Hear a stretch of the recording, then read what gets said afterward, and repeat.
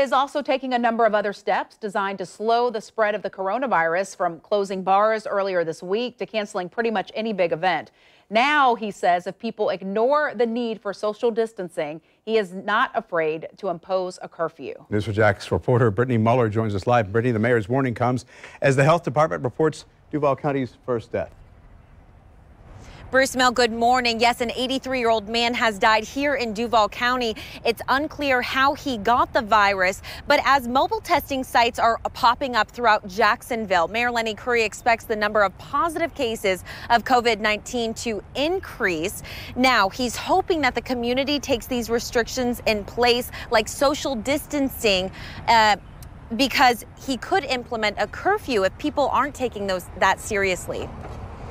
The latest numbers from the health department show the number of positive cases of COVID 19 has risen to 432 cases in Florida, with one new case here in Duval and four in Alachua, bringing the total to 15 positive cases in Duval, with one death of an 83 year old man, 11 in Alachua, four each in Clay and St. John's, and one in Nassau. If we don't flatten the curve, which we're taking actions to flatten the curve right now, uh, we could have a curfew, we could have a full shutdown.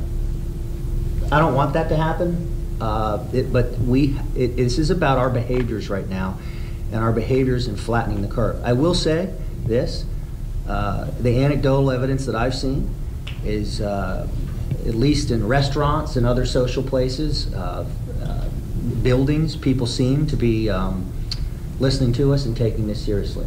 Mayor Lenny Curry says it seems people are listening, but this is about our behaviors to flatten the curve. News4JAX spoke with people in the community to see what they think about having a possible curfew. Um, I don't think nothing is wrong with it because I think he's trying to protect the population and the people so this thing won't spread. I think we should take it serious for our kids and everyone else. Earlier this week, Curry laid out new guidelines and restrictions, including a 50 person limit to certain businesses to help stop the spread of COVID 19 and banning the sale of alcohol between the hours of midnight and 8 a.m.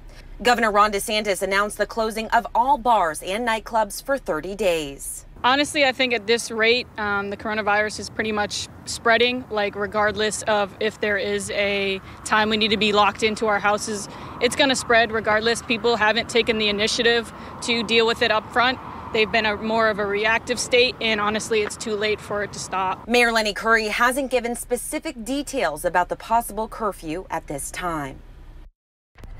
Okay, this is a live look at the Prime Osborne Convention Center. We've been out here for hours and haven't seen any cars or residents coming by. So that's a good sign you're listening and, and listening to local officials, including the mayor. JSO is out here just in case to turn people away. Okay, so there is no curfew in place, but Mayor Lenny Curry just wants you to take the precautions for your health, your family's health, and he says that you guys are doing a good job. So again, no curfew right now. Reporting live this morning from downtown Jacksonville, Brittany Muller, Channel 4, the local station. Brittany.